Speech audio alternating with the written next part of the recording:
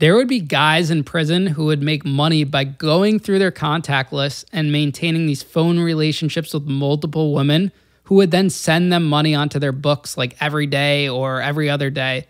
It was literally the craziest thing to see these women obsess over these men who were in prison, couldn't contribute anything to them, and then see the hundreds of dollars these men were able to collect.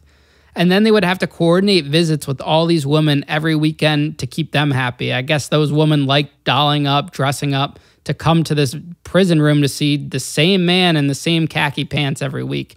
It was literally like a full time for these guys to, to hustle these women. It was it was pretty funny.